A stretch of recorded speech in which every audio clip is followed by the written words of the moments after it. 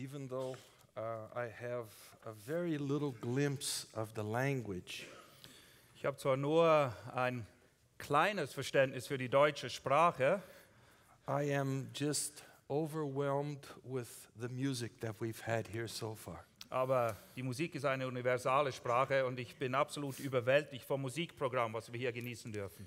And I'm led to think what it will be like to be at the feet of the Lamb, singing praises for Him. Und ich versuche mir immer wieder vorzustellen, wie es sein wird, wenn wir einst zu Füßen des Lammes sein werden und ihn loben und preisen werden durch unseren Gesang. Sometimes I have the idea I can't wait anymore. Manchmal bin ich so ungeduldig, ich kann kaum darauf warten, bis der Tag kommt. But while we're here, let's look at God's word to see what He has to say for Aber wir us. sind hier und bis er wiederkommt, wollen wir sein Wort betrachten und sehen, was er uns dadurch lehren will. Please open your Bibles to Psalm 2, and we wish to consider the theme Ready to Meet the Judge. Schlag bitte Psalm 2 auf und das Thema, wie es hier heißt, bist du bereit, dem Richter zu begegnen? We're not going to read the text, we're going to read it as we go along. Wir lesen den Psalm nicht vorab, sondern werden uns durcharbeiten. There is a story told of a city where evangelicals were working enthusiastically together for a joint evangelistic crusade. Es gibt diese Geschichte von einer Stadt, wo die Christen sich alle zusammengetan haben, um enthusiastisch mitzuarbeiten für eine große Evangelisation. And they made huge billboards with very large letters saying, Jesus is the solution. Und sie haben riesige Plakate hergestellt, auf denen stand, Jesus ist die Lösung.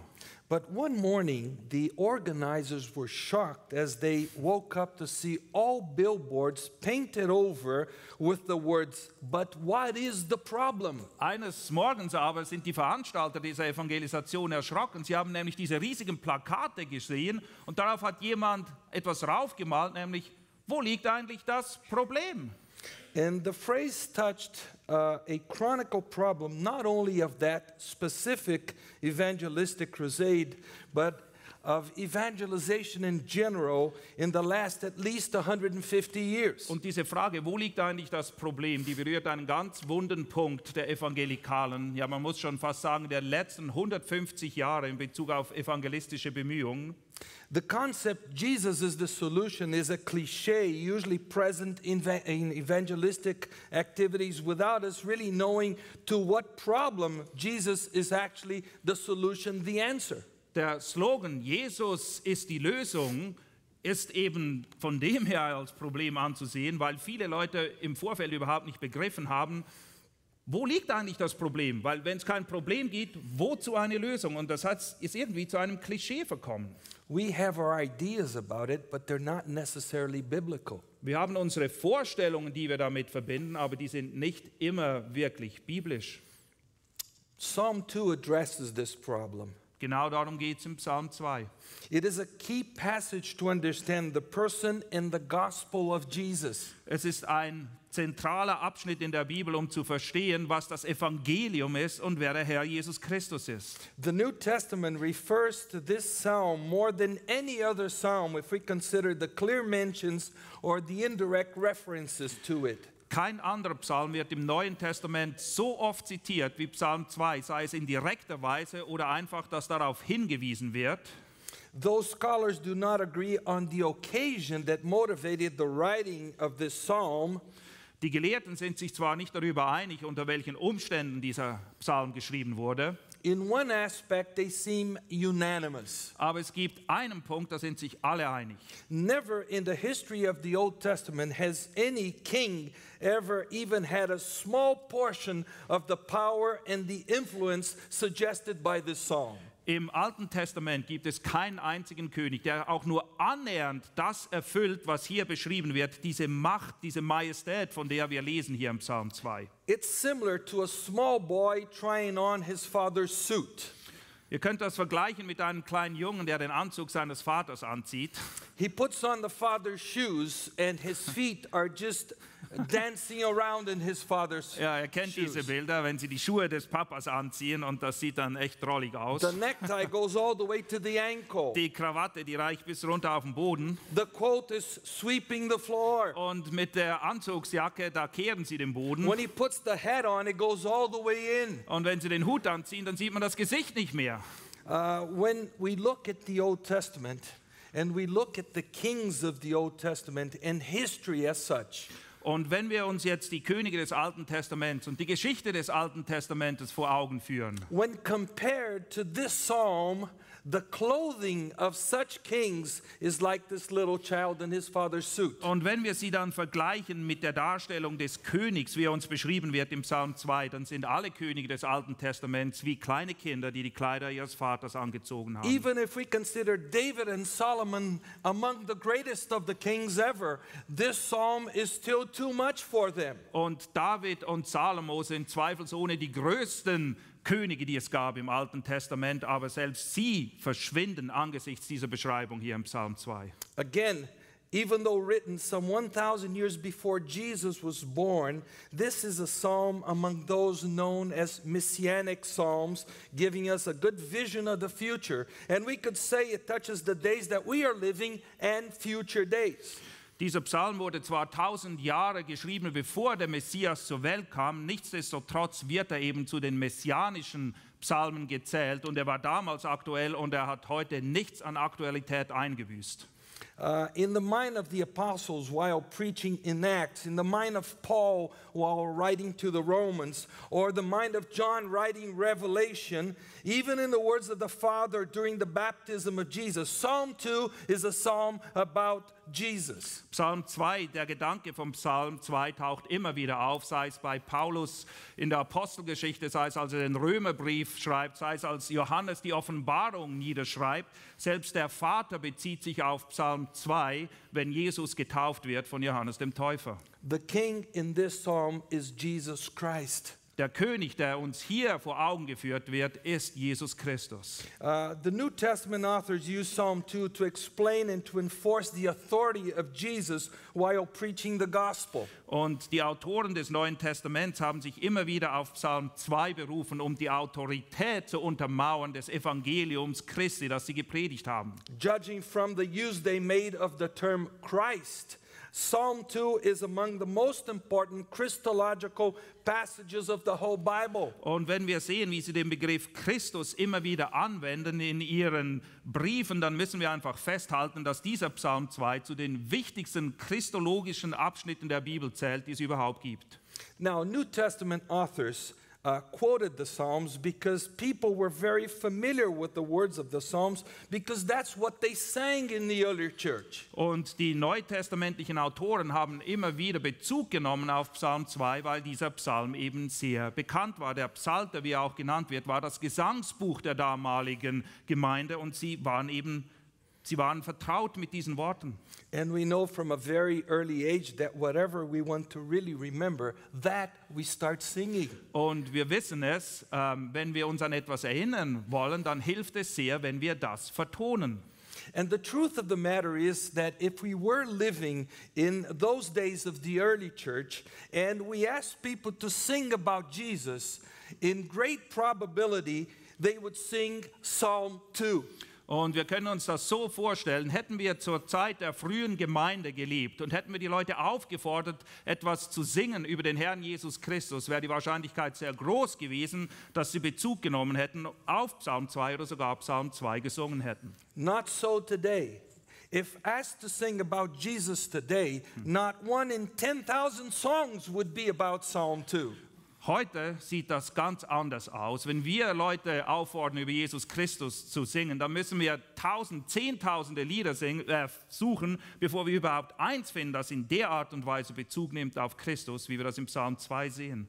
And this is due to a chronicle problem of the so called evangelical church of our days the lack of the proper balance of the, of the gospel we preach.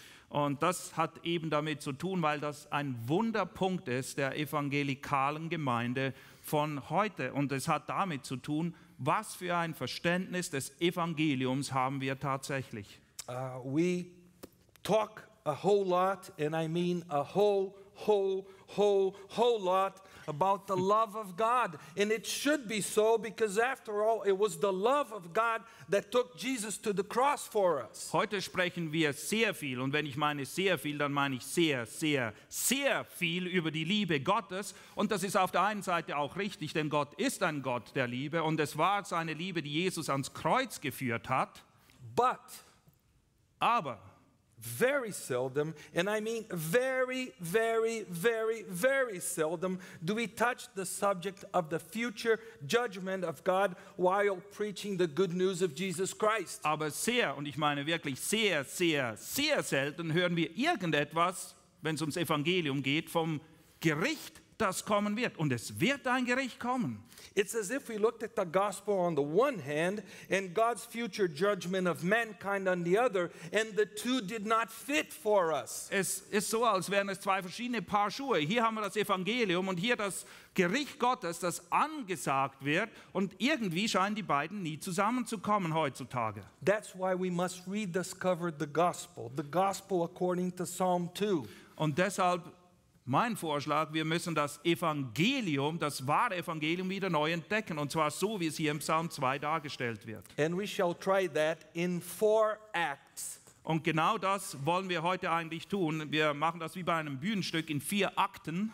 Because Psalm 2 is written in the form of a play, but without the script. We must assume who is talking. Psalm 2 ist von der Aufarbeitung her ähnlich oder mit einem Theaterstück zu vergleichen, nur dass es kein Skript gibt. Wir müssen uns selber vorstellen oder erkennen, wer hier nun spricht.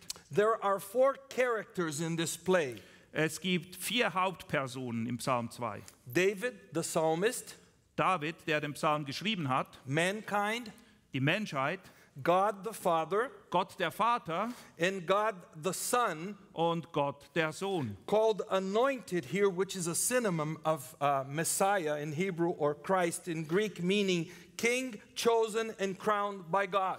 Und es ist der Gesalbte, der Messias, das ist im Griechischen eben ein Begriff, der benutzt wird, um zu beschreiben, dass er der König ist, derjenige, der vom Vater verheißen wurde. Psalm 2 has 12 verses subdivided into four parts, so our play has four acts. Psalm 2 umfasst zwölf Verse, sie werden aufgeteilt in vier Abschnitte und folglicherweise hat unser Theaterstück in dem Sinne vier Akte. Act 1, verses 1 through 3. Der erste Akt, die Verse 1 bis 3. Why are the nations in an uproar and the peoples dividing a vain thing? Warum toben die Nationen und sinnen eitels die Völkerschaften? The kings of the earth take their stand, and the rulers take counsel against the Lord and against his anointed, saying, Let us tear their fetters apart and cast away their cords from us. Die Könige der Erde treten auf und die Fürsten beraten miteinander gegen den Herrn und gegen seinen Gesalbten. Lasst uns zerreißen ihre Fesseln und von uns werfen ihre Seile. Now, who is speaking here in verses 1 and 2? Wer spricht hier in den Versen 1 und 2? David the psalmist. Es ist David, der den Psalm schreibt. And what is he saying? Und was sagt er? He's talking about the situation of the world. Er beschreibt die Situation dieser Welt. He must have tuned into CNN or BBC because he talks about the problems, the wars, and the confusions that we see very similar to our world today. Wahrscheinlich hat er sich CNN angeschaut oder BBC oder einen anderen Nachrichtensender, weil das, was er hier beschreibt, können wir eins zu eins vergleichen mit den Ereignissen in der Zeit, in der wir leben. And the answers he offers to the problem is the following Welche Antwort gibt er jetzt aber auf dieses Problem? The nations of the world, specially represented by their leaders, are ganging up against God and his anointed Christ Jesus. Er schreibt hier, dass die Völker und allem voran die Fürsten, die Führer dieser Völker, sich gemeinsam zusammengetan haben, um gegen den Herrn und gegen seinen Gesalbten aufzutreten. It's as if David turned up the volume of the radio so we could hear the speech of the world. Es ist so, als hätte David quasi die Lautstärke am Radio hochgedreht und wir hören jetzt die Welt, wie sie uns entgegenschreit. Let us tear their fetters apart and cast away their cords from us. Und die Welt ruft, lasst uns zerreißen ihre Fesseln und von uns werfen ihre Seile. Now, what is the motivation of this rebellion? Was motiviert sie? Was stachelt sie zu dieser Art von Rebellion an? Now, the people of this world, Die Leute, die Menschen dieser Welt, Muslims, Buddhists, Hare Krishna, atheists, if there's such a thing, Moslem, Buddhisten, Hare Krishna, Atheisten, wenn es denn überhaupt so etwas gibt wie wahre Atheisten, Catholics, Jews, and even so many that call themselves evangelical Christians. Katholiken, Juden, aber auch eine große Anzahl von Namenschristen, die sich nur so nennen. They feel crippled, they feel confined, they feel they have their hands tied by the principles, the standards of God.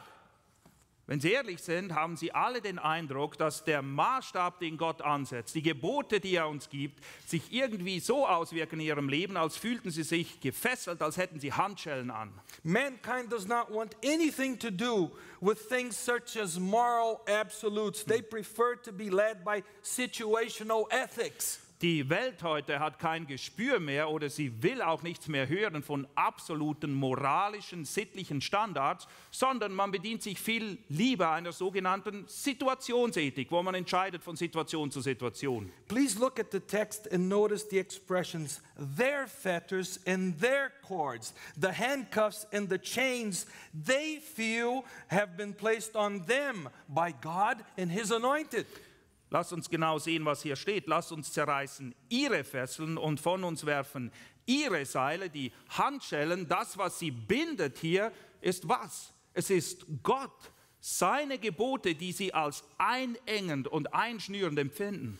If in Psalm 1 we find a God fearing man who delights in the light, in the law of the Lord, Im Psalm 1, ganz im Gegensatz zu Psalm 2, finden wir einen Menschen, der sich erfreut an den Geboten Gottes. here in Psalm 2, the people describe the same word of God as a yoke, a heavy instrument of torture that has been placed upon their necks. Dieses selbe Gebot, über das sich der Schreiber im Psalm 1 freut, wird von den Menschen im Psalm 2 aufgefasst als ein Joch, ja man könnte sogar sagen ein Folterinstrument. And these rebellious people simply say, Let us get rid of their dominion over us. Let us say, Enough of your power over us. Und sie rufen aus und sagen, wir wollen nicht mehr, dass ihr über uns herrscht. Wir wollen nichts mit euch zu tun haben. Lasst uns in Ruhe. It's as if David described the situation in the following words Es ist so, als würde David das folgendermaßen beschreiben. I have discovered the secret, the logic behind all the confusion of the human race. Es ist so, als würde David sagen, ich habe jetzt herausgefunden, was das wahre Problem der ganzen Menschheit ist. Und ich kann das auch logisch darstellen. I have unriddled the theme that guides the life of the presidents of the United States and Russia. Ich habe das Geheimnis herausgefunden, was die Präsidenten von Amerika oder von Russland wirklich antreibt. Of the worker in a factory in China or Korea, of a terrorist in the Middle East, Oder of a was- prostitute in France. Oder was ein Arbeiter antreibt irgendwo in China oder ein Terrorist im Mittleren Osten oder eine Prostituierte in Frankreich. or a sugar farmer in Brazil, or a banker in Switzerland. Oder es kann auch ein Zuckerbauer sein in Brasilien oder ein Banker in der Schweiz. All are motivated to fight against God and His anointed. Das, was sie wirklich vereint und antreibt und zusammenbringt, ist die Rebellion gegen Gott und seinen Gesalbten. The actions of the human race, which appear contingent, are actually very logical and full of consistency. Und wenn wir das Ganze von der Distanz betrachten, dann scheinen die Dinge, die die Menschen tun, zufällig, aber es gibt ein verbindendes Glied, es gibt eine Logik, etwas, was das Ganze zusammenhält. Ever since the Garden of Eden, we've ha- we have all by nature one ideal in our hearts. Seit dem Garten Eden gibt es ein Wurzelproblem in unserem Herzen. Opposition to God and to his anointed Christ Jesus. Rebellion gegen Gott und gegen seinen Gesalbten Jesus Christus. We are united in this rebellion. Und das ist, was die ganze Menschheit in ihrer Rebellion gegen Gott vereint. In other words, the moment the opportunity arose, we would murder our Creator if we could. In dem Moment, als sich die Möglichkeit bot, den Schöpfer umzubringen, was haben die Menschen getan? Sie haben ihn umgebracht. It's hard to believe it, it's highly shocking, but it is the absolute honest truth. Es ist schwer zu glauben und es ist schockierend, aber das ist die blanke Wahrheit. At least that's how the early church perceived the death of Jesus. Pay attention as we read Acts chapter 4, verses 24 through 28. Zumindest hat die frühe Gemeinde das so wahrgenommen und wir sehen das auch in Apostelgeschichte 4, die Verse 24 bis 28. And when they heard this, they lifted their voices to God with one accord and said, Sie aber, als sie es hörten, erhoben einmütig ihre Stimme zu Gott und sprachen, O Lord, it is you who made the heaven and the earth and the sea and all who by your, the Holy Spirit through the mouth of our father David, servant, said, Herrscher, du, der du den Himmel und die Erde und das Meer gemacht hast und alles, was in ihnen ist, der du durch den Mund deines Knechtes David gesagt hast. Why did the Gentiles rage and the peoples divide futile things? Warum tobten die Nationen und sannen eitles die Völker? He's talking about Psalm 2. Merkt ihr, er bezieht sich auf Psalm 2 hier. The kings of the earth took their stand, and the rulers were gathered together against the Lord and against his Christ. Die Könige der Erde traten auf und die Obersten versammelten sich miteinander gegen den Herrn und gegen seinen Christus. For truly in this city there were gathered together against your holy servant Jesus, whom you anointed, both Herod and Pontius Pilate, along with the Gentiles and the people of Israel, to do whatever your hand and your purpose predestinated to occur. Denn in dieser Stadt versammelten sich in Wahrheit gegen deinen heiligen Knecht Jesus, den du gesalbt hast, sowohl Herodes als auch Pontius Pilatus mit den Nationen und den Völkern Israel, um alles zu tun, was deine Hand und dein Ratschluss zuvor bestimmt hat, dass es geschehen sollte. All the enmity of the human race against God and against his anointed culminated on the cross of Calvary. Die ganze Feindseligkeit der Menschheit gegen Gott und seinen Gesalbten fand seinen Höhepunkt damals auf Golgatha, als sie den Sohn Gottes gekreuzigt haben. As already mentioned, the moment the opportunity arose, uh, man would murder his creator. And that's exactly what we did. Wie ich es bereits erwähnt habe, in dem Moment, als sich die Möglichkeit bot, den Schöpfer umzubringen, haben sie es getan. Wir alle haben das getan. The cross was not an isolated example of a bizarre and a typical human injustice. Und das Kreuz war nicht irgendeine isolierte Situation, die zeigt, wie komisch die Menschen sich doch manchmal, manchmal verhalten können. The Bible shows the cross as an example par excellence of our most natural behavior. Sondern das Kreuz drückt einfach deutlicher als irgendetwas anderes aus, wie der Mensch tatsächlich gewickelt ist. It is in the cross that we see the seriousness of our sin. Und wenn wir das Kreuz sehen, erst dann erkennen wir die Ernsthaftigkeit unserer eigenen Sünde. It is in that moment of history that we capture the degree of our enmity against God and against His Son. Und wenn wir dieses Ereignis in der Geschichte uns vor Augen führen, dann wird dadurch ganz klar, welche Feindseligkeit in unseren Herzen regiert gegen Gott und seinen Gesalbten. But we must ask ourselves what is happening, what is going on in heaven during this rebellion? Aber die Frage, die sich uns jetzt aufdrängt, ist, wie reagiert der Himmel auf diese Rebellion hier auf Erden? Uh, there's a change in scenery now. Wir kommen zum nächsten Akt.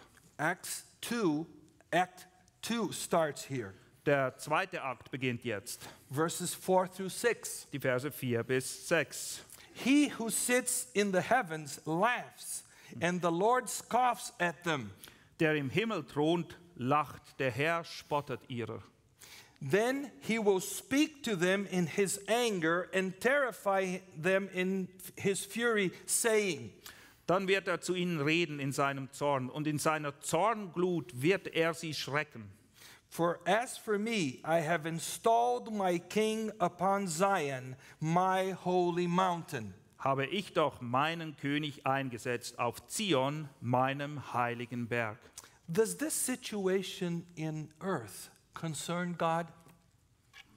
Kann es sein, dass was sich hier auf der Erde abspielt, Gott irgendwie in Aufregung versetzt? While the world shouts and threatens him, is he hiding behind the heavenly furniture? Während die Welt schreit und mit geballter Faust gegen den Himmel auftritt, was macht Gott? Versteckt er sich hinter seinem himmlischen Sofa und hat Angst? Is he biting his nails? Are his knees trembling? Oder kaut er seine Fingernägel und seine Knie, die schlottern förmlich? Is his kingdom ready to capitulate, to surrender on terms? Ist er bereit, sein Reich quasi in die Kapitulation zu führen vor diesen Menschen, die jetzt eben empört sind gegen ihn? Not a chance. Nicht im entferntesten. The psalm declares, He who sits in the heavens laughs, the Lord scoffs at them. Wir sehen, was der Herr tut angesichts der Rebellion. Er thront, er lacht, er spottet über diese Menschen. He laughs, he scoffs, but the situation is grievous. Er lacht und er spottet zwar, obwohl die Situation an Ernsthaftigkeit nicht überboten werden könnte. He will speak to them, says the psalm, in his anger and terrify them in his fury. Und die Reaktion Gottes lesen wir in Vers 5. Er wird zu ihnen reden in seinem Zorn und in seiner Zornglut wird er sie schrecken. All the rebellion, all the threats, all the efforts of the human race cannot alter the plan, the will, the purpose of God. All die Rebellion der Menschheit, all ihr Aufbegehren, was immer sie tun, kann nichts, aber nicht das kleinste bisschen an den Plänen und Absichten Gottes ändern, die er sich vorgenommen hat und die er auch sicher ums- umsetzen wird. In God's economy, the anointed king is already enthroned over the holy mountain of God, and there's no way we can dethrone him. Weil für Gott ist es so, der König, von dem hier die Rede ist, der hat seinen Thron im Himmel bereits bestiegen und es gibt nichts, absolut gar nichts, was auch nur im entferntesten daran etwas ändern könnte. It is possible for us to understand the laughter, the scoffing of God in verse 4. Und dieses Lachen, dieses Spotten des Herrn in Vers 4, das können wir uns folgendermaßen vorstellen. Sin is not a matter of laughter in God's eyes, Für Gott ist Sünde nichts, worüber er lacht. but he laughs and he scoffs at the ridicule of the rebellion. Aber er lacht und spottet über diese Lächerlichkeit der Rebellion der Menschen. Imagine a two year old child flying into a tantrum and hitting his father with punches and kicks, but the blows never get any higher than the father's Ihr knees. müsst euch das so vorstellen, wie ein kleines Kind, zwei Jahre alt, plötzlich hat es einen Wutanfall, geht auf den Vater los, schlägt auf ihn ein, aber die Schläge kommen nie höher als die Knie des Vaters. Perhaps the father picks up such a child and the tantrum continues, arms and legs kicking about, perhaps even shouting, but with no possibility whatsoever of overthrowing the father. Ja, der Vater nimmt das kleine Kind vielleicht und hebt es hoch und es strampelt immer noch und schlägt wie wild um sich, aber es hat keine Chance, dem Vater irgendetwas anzutun. Es wird nicht im entferntesten etwas dazu beitragen, dass der Vater seine Gedanken ändert in Bezug auf irgendetwas. We look and laugh because not of the child's attitude, but because of the ridicule of the situation. Und wir haben diese Szene vor Augen und wir müssen lachen, nicht aufgrund dessen, was das Kind tut, sondern weil die Szene einfach so lächerlich anmutet. Believe me, my wife and I have raised four boys. We know it is possible So to be irritated in such a situation, but at the same time laughing. Er hat vier Jungs, wir auch, und wir kennen das, wir wissen, wie das ist. Ähm, in diesen Situationen ist einem nicht zu lachen zumute und trotzdem kann man es sich kaum verkneifen. God's laughter does not annul his wrath. Aber dieser Spott Gottes löscht nicht seinen gerechten Zorn aus.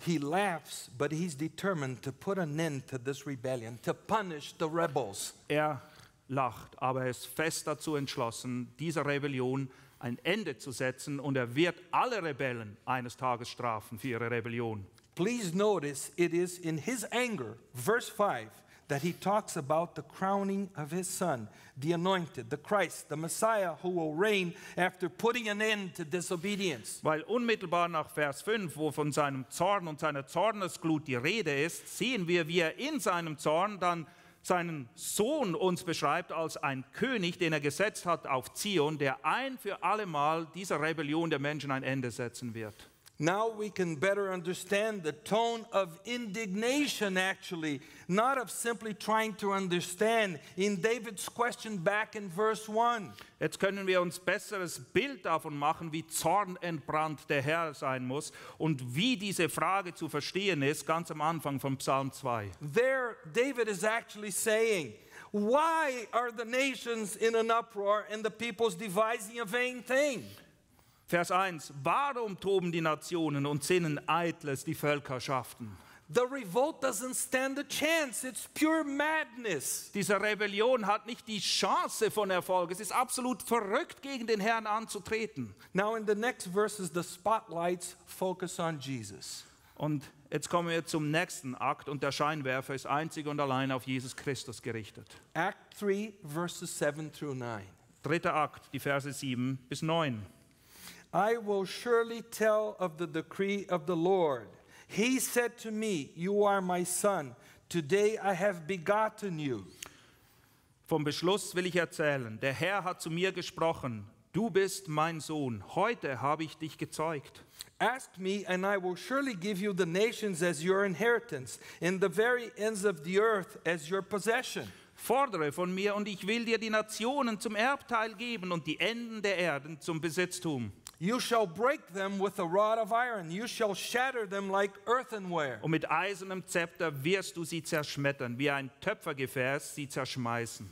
In this scene, it is Jesus Christ, the Son of God, who speaks, though uttering the decree of God the Father. Hier sehen wir Jesus Christus, der stellvertretend für seinen Vater spricht und sagt, was kommen wird. The Son speaks and does things the Father allows him to do and to speak. Der Sohn spricht hier über die Dinge, die der Vater ihm erlaubt zu tun in der Zukunft, wenn die Zeit reif ist dafür. The will of God as Trinity is fulfilled in the obedience of Christ. Der Wille der Trinität des dreieinigen Gottes ist erfüllt in Jesus Christus. Jesus Christ is the agent of God in all his works in the world. Jesus Christus ist der Abgesandte Gottes und sein Wort, das lebendige Wort, This uh, scene discloses a vision of Christ's tremendous power for us. Und hier in diesem Akt wird uns aufgezeigt, welche Macht und welche Majestät Jesus Christus besitzt. Uh, there, these verses show us there's no other person, no king, or whoever in the universe as powerful as the glorified Jesus Christ. Und hier erkennen wir, es gibt keinen König, keinen Herrscher, keinen Führer und wird auch nie einen geben, der auch nur annähernd an die Herrlichkeit Jesu Christi herankommt, wie sie hier beschrieben wird. Jesus Christ will crush this rebellion with infinite power, as described in Revelation chapter 19, verses 11 through 16. In Offenbarung 19, 11 und folgende lesen wir davon, mit welch unendlicher, unerschöpflicher Macht Jesus Christus auftreten wird, um diese Rebellion zu einem Ende zu führen. Revelation 19, 11 through 16. Offenbarung 19, die Verse 11 bis 16. And I saw heaven opened, and behold, a white horse, and he who was set on it, it is called faithful and true. And in righteousness he judges and wages war. Vers 11. Und ich sah den Himmel geöffnet und siehe, ein weißes Pferd. Und der darauf saß, genannt treu und wahrhaftig. Und er richtet und führt Krieg in Gerechtigkeit. His eyes are a flame of fire, and on his head are many diadems. And he has a name written on him which no one knows except himself. Seine Augen aber sind eine Feuerflamme. Und auf seinem Haupt sind viele Diademe. Und er trägt einen Namen geschrieben, den niemand kennt als nur er selbst. He is clothed with a robe dipped in blood, and his name is called the Word of God. Und er ist bekleidet mit einem in Blut getauchten Gewand. Und sein Name heißt das Wort Gottes. And the armies which are in heaven, clothed in fine linen, white and clean, were following him on white horses. Und die Kriegsheere, die in dem Himmel sind, folgten ihm auf weißen Pferden, angetan mit feiner Leinwand, weiß und rein. From his mouth comes a sharp sword, that so that with uh, it he may strike down the nations, and he will rule them with a rod of iron. Und aus seinem Mund geht hervor ein scharfes, zweischneidiges Schwert, damit er die Nationen damit schlage, und er wird sie weiden mit eiserner Rute. And he treads the winepress of the fierce wrath of God, the Almighty. Und er tritt die Kelter des Weines, des Grimmes, des Zornes Gottes, des Allmächtigen. And on his robe and on his thigh he has a name written King of Kings and Lord of Lords. Und er trägt auf seinem Gewand und auf seiner Hüfte einen Namen geschrieben, König der Könige und Herr der Herren. In the next chapter, Revelation 20, John speaks of the beginning of this reign, which is the millennium. Und in Kapitel 20 sehen wir dann Johannes, wie er beschreibt, wie dieses Reich, dieses Friedenreich beginnt, nämlich das tausendjährige Reich, wir nennen es auch Millennium. But if we move on to Revelation 22, verses 1 through 5, John concludes about Jesus' eternal reign. Aber in Kapitel 22 sehen wir dann Jesus, wie er sein ewiges Reich antritt. So, looking at this chapter 22, verses 1 through 5. Und wir lesen die Verse in Kapitel 22, 1 bis 5. Then he showed me a river of water of life, clear as a crystal, coming from the throne of God and the Lamb in the middle of its street. Und er zeigte mir einen Strom von Wasser des Lebens, glänzend wie Kristall, der hervorging aus dem Thron Gottes und des Lammes. On either side of the river was a tree of life bearing 12 kinds of fruits, yielding its fruit every month. And the leaves of the tree were of the healing of the nations, for the healing of the nations. In der Mitte ihrer Straße und des Stromes, diesseits und jenseits, war der Baum des Lebens, der zwölf Früchte trägt und jeden Monat seine Frucht gibt. Und die Blätter des Baumes sind zur Heilung der Nationen. There will no longer be any curse, and the throne of God and of the Lamb will be in it, and his bondservants will serve him. Und keinerlei Fluch wird mehr sein. Und der Thron Gottes und des Lammes wird in ihr sein. Und seine Knechte werden ihm dienen. Und sie werden sein Angesicht sehen. Und sein Name wird an ihrer Stirn sein. They will see his face, and his name will be on their foreheads. Sie werden sein Angesicht sehen. Und sein Name wird an ihren Stirn sein. And there will no longer be any night, and they will not have the need of the light of a lamp nor the light of the sun, because the Lord God will illuminate them, and they will reign forever and ever. Und Nacht wird nicht mehr sein und kein Bedürfnis nach einer Lampe und dem Licht der Sonne, denn der Herr Gott wird über ihnen leuchten und sie werden herrschen von Ewigkeit zu Ewigkeit. This is what the title Christ refers to. Darauf bezieht sich dieser Titel Christus. Jesus Christ is the King who will forever reign over every human being of every nation, that is, over those who have not been condemned to hell. Jesus Christus ist der König, der von Ewigkeit zu Ewigkeit herrschen wird über alle Menschen, sprich die Menschen, die nicht verdammt wurden in die Hölle. Because before this happened, he will judge all. Denn bevor das hier eintritt, was wir gerade gelesen haben, wird es ein großes Gericht geben und alle werden vor dem Richter erscheinen. That is, the old and the young, the rich and the poor, the black and the white, Die Alten und die Jungen, die Reichen und die Armen, die Schwarzen und die Weißen spielt überhaupt keine Rolle. of every tongue, every religious belief, of every level of education, Von jeder Sprache, von jedem ethisch, ethnischen Hintergrund, egal wie gebildet du warst oder nicht. he will judge all of these people whose name was not found written in the book of life. Alle, alle deren Namen nicht geschrieben steht im Buch des Lebens, werden gerichtet. And in doing so, he will put an end to human rebellion. Und wenn das passiert, dann wird endgültig der Punkt gesetzt hinter der Rebellion der Menschen gegen Gott. And Revelation 20, 11 through 15 describe Jesus in this role of judge of the nations and of the rebellious human beings. Und in Offenbarung 20, 11 bis 15 wird Jesus uns eben vor Augen gemalt in seiner Rolle als Richter über alle Menschen, die gegen ihn rebelliert haben. And the text says, Then I saw a great white throne and him who sat upon it, from whose presence earth and heaven fled away, and no place was found for them. Und ich sah einen großen weißen Thron und den, der darauf saß, vor dessen Angesicht die Erde entfloh und der Himmel und keine Stätte wurde für sie gefunden. And I saw the dead, the great and the small, standing before the throne, and books were open. And another book was open, which is the book of life. Und ich sah die Toten, die Großen und die Kleinen vor dem Thron stehen, und Bücher wurden aufgetan. Und ein anderes Buch wurde geöffnet, welches das des Lebens ist. And the dead were judged from the things which were written in the books according to their deeds. Und die Toten wurden gerichtet nach dem, was in den Büchern geschrieben war, nach ihren Werken. And the sea gave up the dead which were in it, and death and Hades gave up the dead which were in them. Und das Meer gab die Toten, die in ihm waren, und der Tod und der Hades gaben die Toten, die in ihnen waren. And they were judged, every one of them, according to their deeds. Und sie wurden gerichtet, jeder nach seinen Werken. The, then death and Hades were thrown into the lake of fire. Und der Tod und der Hades wurden in den Feuersee geworfen. This is the second death, the lake of fire. Das ist der zweite Tod, der Feuersee. And if anyone's name was not found written in the book of life, he was thrown into the lake of fire. Und wenn jemand nicht geschrieben gefunden wurde in dem Buch des Lebens, so wurde er in den Feuersee geworfen.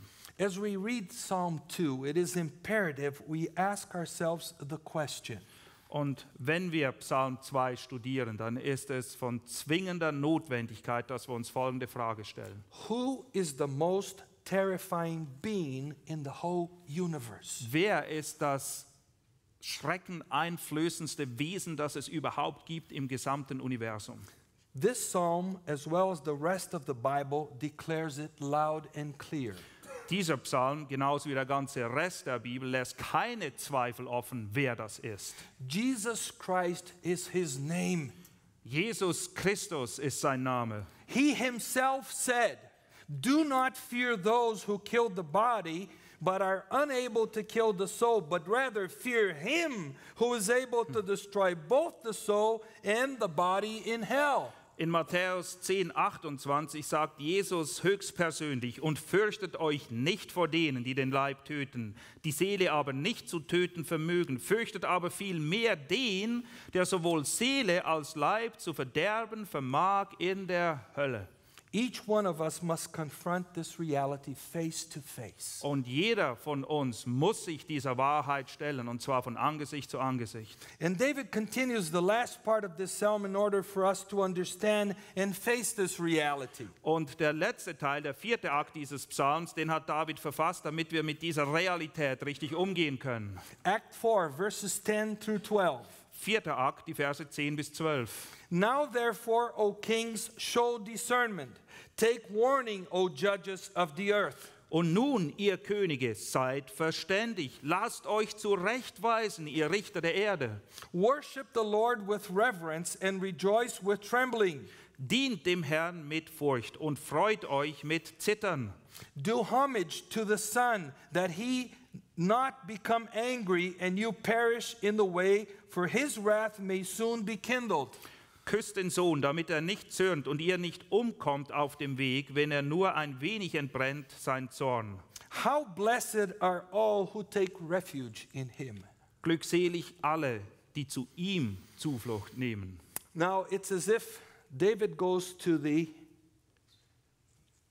end of the platform facing the rebellious audience of the world. Und hier müssen wir das so vorstellen, als würde David förmlich an das äußerste Ende der Bühne herantreten, um mit dieser rebellischen Welt zu fliehen oder für sie zu fliehen. And what does he say?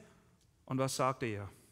He commands, he alerts the kings, the judges, actually all of human beings, to open their eyes, to stop their rebellion, and to begin to obey the Lord and his Son. Er warnt sie, er ermahnt sie, er gebietet ihnen endlich Einhalt zu gebieten mit dieser Rebellion. Und zwar Könige, Fürsten, Herren, alle Menschen, dass sie endlich zur Besinnung kommen und sich zurechtweisen lassen, wie wir es hier auch lesen. And the specific command is do homage to the Son, a sign of recognition of his authority, a public recognition to the King as sovereign of the universe. Und in Vers 12 werden sie angewiesen, küsst den Sohn oder ehrt den Sohn. Und damit will er eben zum Ausdruck bringen, dass sie öffentlich ein Zeugnis dafür ablegen, dass sie sich seiner Autorität unterstellen und seine Herrschaft anerkennen. And David warns us of the danger of remaining disobedient. Und David warnt uns davor, ungehorsam zu sein. If we do not do homage to the Son, we will perish. Wenn wir den Sohn nicht ehren oder nicht küssen, wie es hier heißt, dann werden wir umkommen. If we continue in sin, we will always be in the verge of dying and ending up in hell.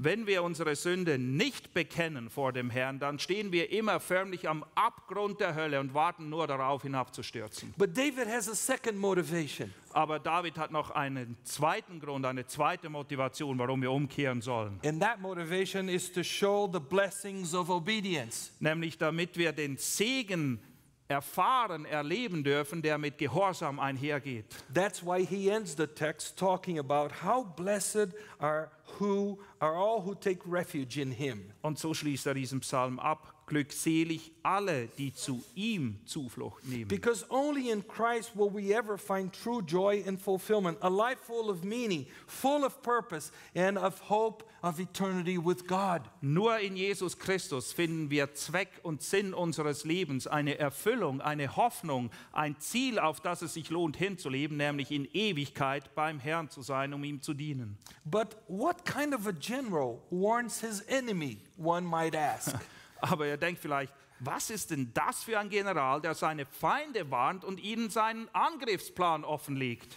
the God of Psalm 2 is the God who will gladly reveal his plan with the intention of alerting people to avoid the condemnation of the final judgment. Dieser General ist der Gott, wie er uns vorgestellt wird im Psalm 2, der nur allzu bereit ist, seine Pläne offen zu legen, damit die Menschen zur Besinnung kommen und umkehren und nicht in der Hölle landen. As already mentioned in preaching today, God loves us. Wir haben es heute schon gehört, Gott liebt uns. If it were not so, we would already have been destroyed by now. Wäre dem nicht so, würde Gott uns nicht lieben, würde keiner von uns hier sitzen. Wir wären alle schon umgekommen. Listen to what the apostle Peter says in 2 Peter 3 9 along that line of thought. Petrus im was 2. Peter? 3 9. 2. Petrus 3,9 greift er diesen Gedanken auf und formuliert es folgendermaßen. The Lord is not slow about his promise, as some count slowness. Der Herr zögert die Verheißung nicht hinaus, wie es einige für ein Hinauszögern halten, but is patient toward you, not wishing for any to perish, but for all to come to repentance. sondern er ist langmütig gegen euch, da er nicht will, dass irgendwelche verloren gehen, sondern dass alle zur Buße kommen. Now I must conclude, and again I will conclude with four applications. Und zum Abschluss möchte ich euch wieder vier Anwendungen geben. Ask yourself, first application, Die erste Anwendung in Form einer Frage. is my gospel the gospel of Psalm 2? Das Evangelium, das ich lebe und predige, entspricht es dem Evangelium, wie wir es hier im Psalm 2 gesehen haben. Remember the illustration in the beginning of the message? Jesus is the solution, but what is the problem? Erinnert ihr euch, womit ich die Predigt begonnen habe? Wir sagen immer, Jesus ist die Lösung. Ja, aber wo liegt das Problem? Why do we need Jesus the Savior? Warum brauchen wir mehr als alles andere den Herrn und den Retter Jesus Christus? Is it to solve our problem of anxiety, Ist es nur, damit das Problem unserer Sorgen gelöst wird? our desperate financial situation, Oder damit wir aus einem finanziellen Engpass herauskommen? our apparently unsolvable relationship problems at home, Oder damit wir die Beziehungs-, die zwischenmenschlichen Probleme daheim endlich lösen können? our dependency on drugs and alcohol or something else? Oder dass wir frei werden von Alkohol, Drogen oder was auch immer? Well, Jesus can certainly help in all those areas and in many others. Ja, es stimmt, Jesus kann uns in all diesen Bereichen helfen und in noch viel mehr. But if we are honest before God, we will recognize that all such problems and challenges are the result of a much deeper, more pervasive, and encompassing problem called sin. Aber wenn wir aufrichtig vor den Herrn treten, dann müssen wir uns eingestehen und anerkennen, dass all diese Dinge nur Auswirkungen, Früchte sind von einem Problem, das viel tiefer sitzt, von einem Wurzelproblem, das so umfassend ist, dass es unser ganzes Leben zerstört. Und das Problem heißt Sünde. It is because of sin that Jesus will judge mankind. Die Menschheit wird gerichtet wegen ihrer Sünde.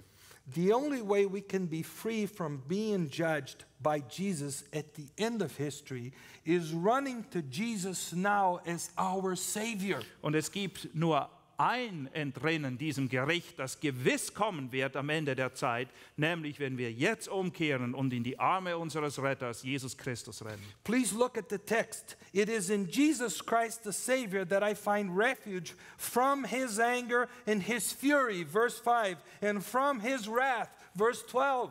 Vers 5 und Vers 12 zeigen, dass es nur einen Zufluchtsort gibt vor dem Zorn, vor der Zornglut Gottes oder von, seinem, von der Furcht des Herrn, wie sie auch beschrieben wird.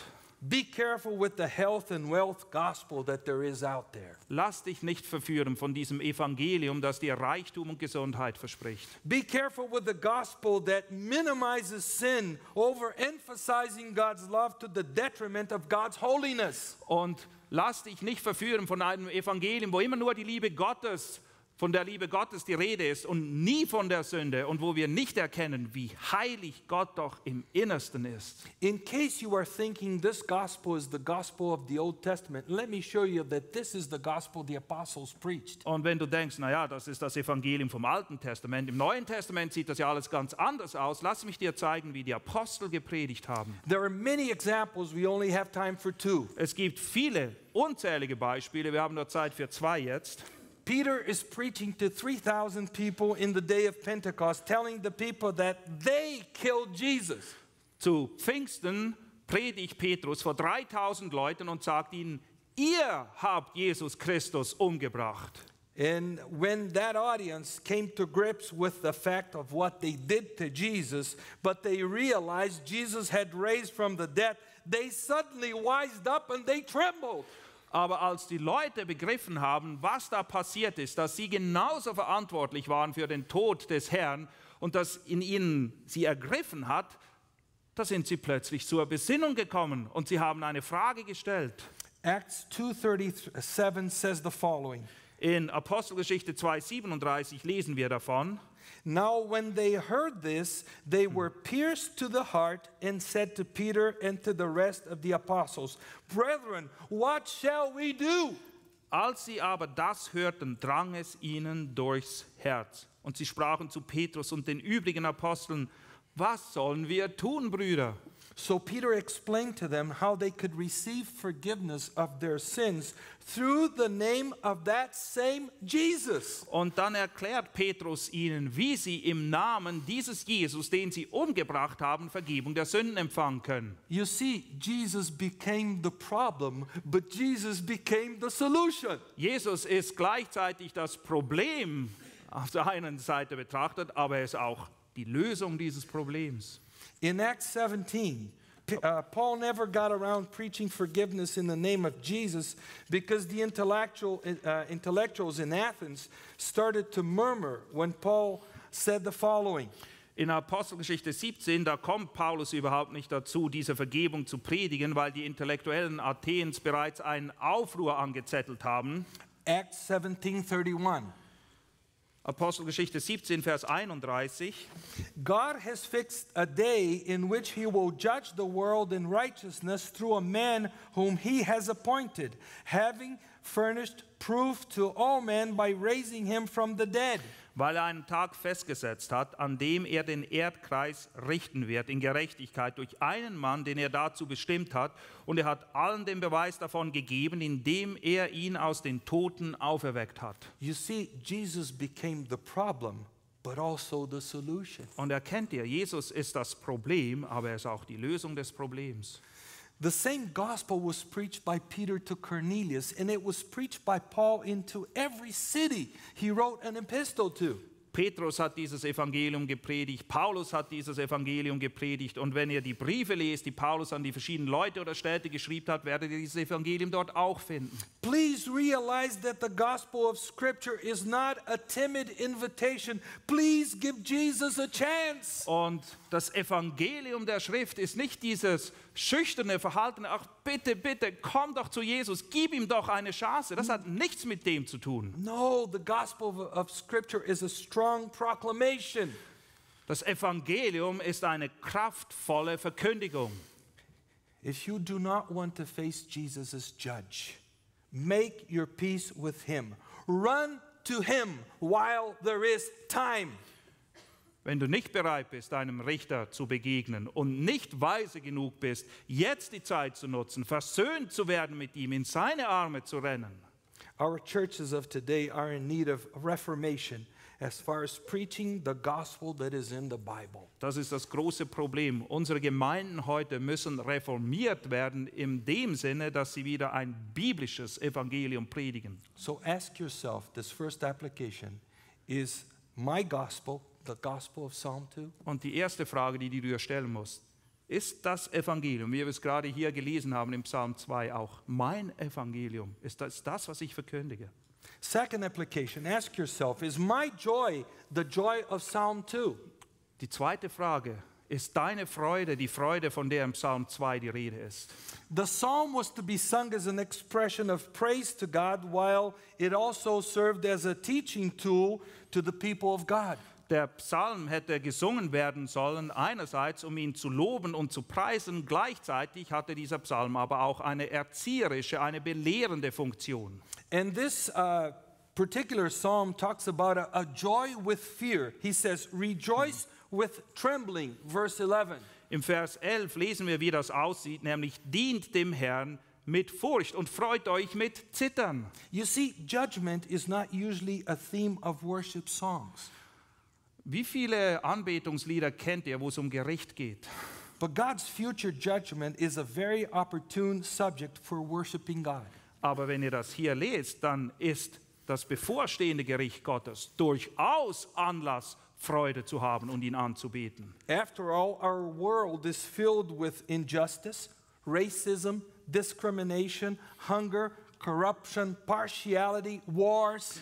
Unsere Welt ist voll von Diskriminierung, von Kriegen, von jeder Form von Unterdrückung. And Jesus will put an end to all of that.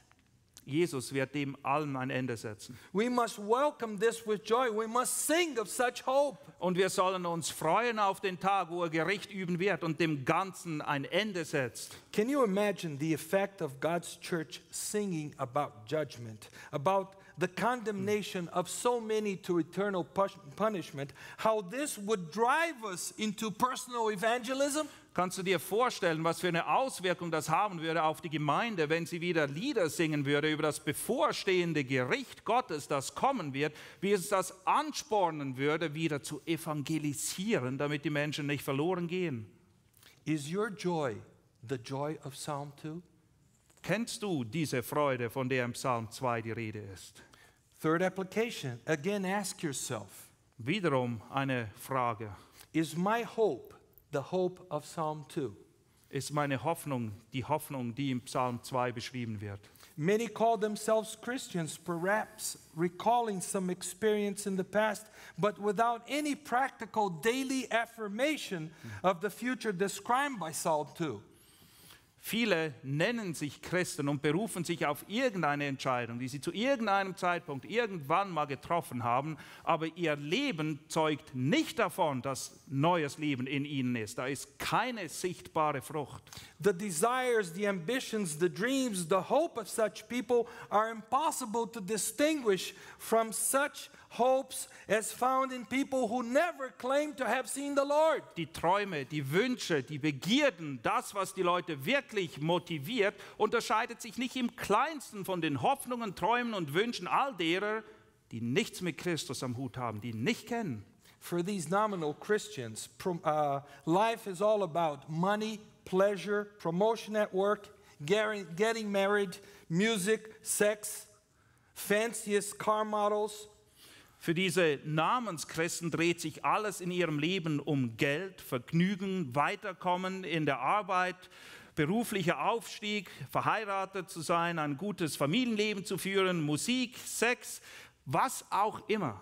Perhaps a winter cottage in some place in the mountains. Oder vielleicht wünschst du dir einfach noch diese Zweitwohnung in den Bergen, wo du richtig entspannen kannst. They seem uh, concerned with everything except the fact that Jesus will come back and will judge the world.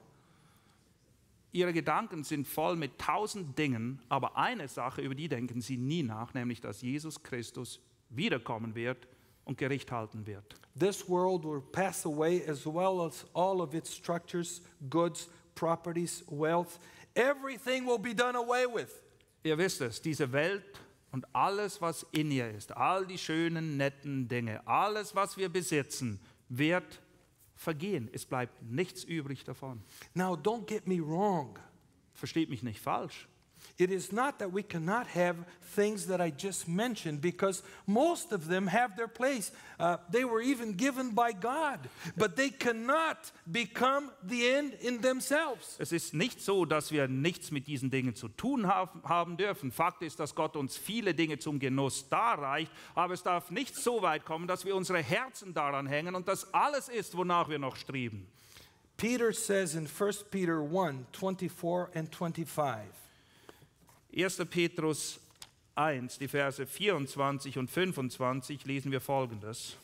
All flesh is like grass, in all its glory, like the flower of grass.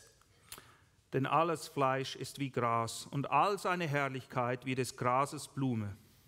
The grass withers and the flower falls off, but the word of the Lord endures forever. Das Gras ist verdorrt und die Blume ist abgefallen. Das Wort des Herrn aber bleibt in Ewigkeit.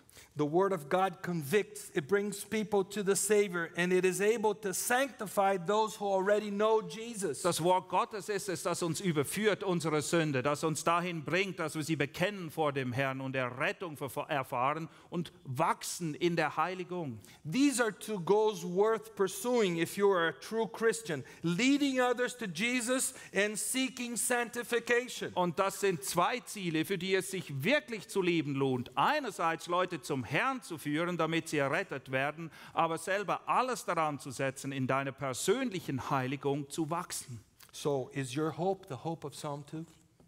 Ist deine Hoffnung deckungsgleich mit der Hoffnung vom Psalm 2? Last application. Please ask yourself Die letzte Frage, die letzte Anwendung. Is my life marked by submission and love to the King of Psalm 2? Zeichnet sich mein Leben aus durch Liebe und Gehorsam zu dem König in Psalm 2? What is your attitude concerning the revelation of the person of Jesus Christ in this psalm?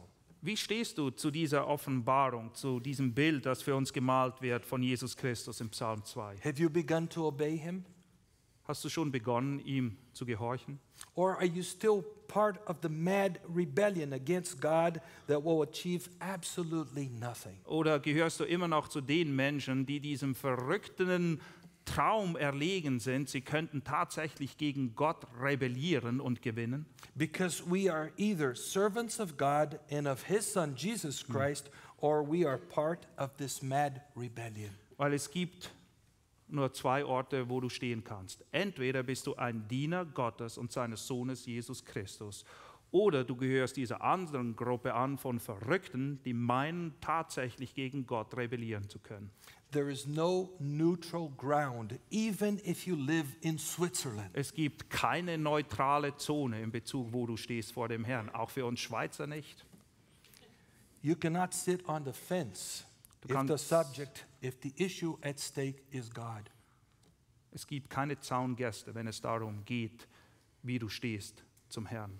You must repent of your independent lifestyle, uh, the one you've been living in, and you must do homage to the Son.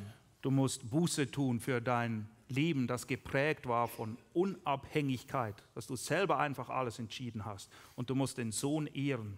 We live in a world that the presence of Jesus Christ, is not yet obvious. Wir leben in einer Zeit, wo die Regierung Jesu Christi, seine Herrschaft noch nicht vollkommen sichtbar ist.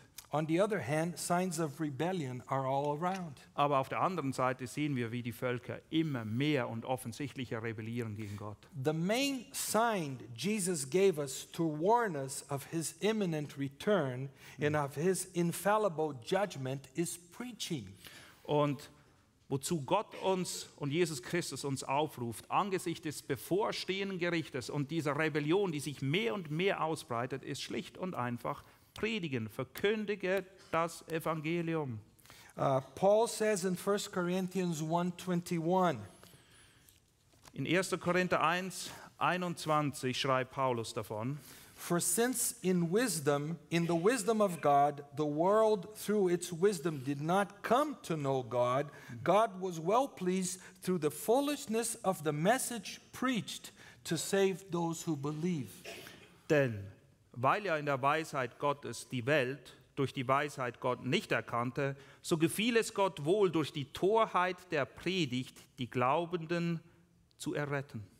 Does the message of Psalm 2 sound like foolishness to you? Findest du die Botschaft vom Psalm 2 eine Torheit? Let me tell you that through this psalm, God intends to tell you foolishness is the rebellion the world is in against Him and against His Son. Psalm 2 deckt schonungslos auf, dass Torheit darin zu finden ist, dass wir meinen, gegen Gott antreten zu können und gegen ihn zu rebellieren, uns ihm nicht unterzuordnen. Each one of us has the perception that God exists, that He created us, and that we are accountable to Him, and that we are sinners. Jedes Geschöpf weiß eigentlich, weil der Herr sie so geschaffen hat, dass es einen Schöpfer gibt, dass er existiert, dass wir Sünder sind und dass wir eines Tages Rechenschaft ablegen müssen vor ihm. So many times we simply subdue our conscience, and God, by His grace, continues to speak to us, continues to bother our conscience. Aber oft ist es so, dass wir Meister darin geworden sind, unser Gewissen totzuschlagen, es einfach zu unterdrücken, aber Gott in seiner Gnade spricht weiter und spricht zu unserem Gewissen und versucht es aufzuwecken. Let me ask you as we close Eine letzte Frage zum Schluss. Is God bothering your conscience at this precise moment? Kann es sein, dass die Worte, die du jetzt gerade gehört hast, dein Gewissen drücken? Remember, if this is happening, if He is bothering your conscience, you will not be able to sit in the dock before your Creator and Judge and simply say, I never knew. Wenn dein Gewissen dich jetzt sticht, dann musst du dir einer Sache bewusst sein. Du wirst nie quasi in der Anklagebank vor deinem Richter sitzen können und behaupten, ich habe nichts davon gewusst. Again, I say, thinking of the last words of verse 12, how blessed are all who take refuge in Him. Nochmal die letzten Worte aus Vers 12. Glückselig alle, die zu ihm Zuflucht nehmen. Only in Christ will you ever find true joy and fulfillment, a life full of meaning and full of purpose, plus the hope of eternity with God. Einzig und allein in Jesus Christus wirst du Freude und Frieden finden, Sinn für dein Leben, eine Hoffnung, die nicht enttäuscht wird, weil du in Ewigkeit bei ihm sein wirst. Und das ist garantiert. Is your life marked by submission and love to the King of Psalm 2? Zeichnet sich dein Leben aus durch Gehorsam, durch liebevolle Unterordnung gegenüber diesem König, von dem wir gelesen haben im Psalm 2. Let's pray. Lasst uns beten. Lord, as we come before you Herr, wir stehen vor dir with the text of Psalm 2 right before our eyes, und diese Worte aus Psalm 2, sie sind noch lebendig in uns. what can we say to you but thank you? Was können wir dir anderes bringen als unsere Dankbarkeit? What a marvelous, wonderful God you are. Was für ein wunderbarer Gott bist du doch. What a powerful Son you have. Und was für einen machtvollen Sohn hast du. What a wonderful victory he conquered on the cross that we're celebrating at Easter. Und was für einen gewaltigen Sieg hat er am Kreuz errungen, den wir jetzt zu Ostern auch feiern.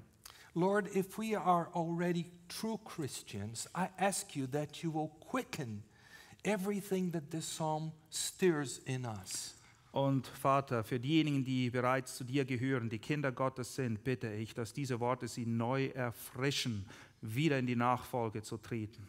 But on the other hand, if there are those here tonight, Lord, that still do not have a personal relationship with you, Aber wenn es hier solche gibt, Vater, die noch keine persönliche Beziehung zu dir haben, be these people uh, those who are hearing this kind of a message for the first time, or those who have heard this message over and over and never uh, took attention to it. oder wenn es solche gibt, die diese Botschaft zum ersten Mal hören, oder solche, die sie hundertmal gehört haben, aber es nichts in ihnen bewirkt hat, sie in ihr Herzen kalt gelassen hat, I want to ask you, Lord, through your Spirit to speak to their hearts for your own glory. Dann bitte ich dich, Herr, dass du durch deinen Geist zu ihren Herzen sprichst, zu deiner Ehre und zu deiner Verherrlichung. We pray in Jesus' name. Amen. beten in Jesu Namen. Amen.